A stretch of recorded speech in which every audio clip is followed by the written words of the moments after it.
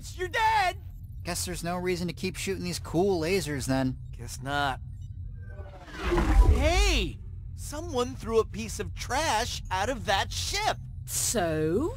So, litter bugs are bad? One would make a case you could argue they're even worse because littering harms everyone. I wouldn't argue that because it's wrong. But it's right enough to turn these lasers back on. What do you say? Street justice!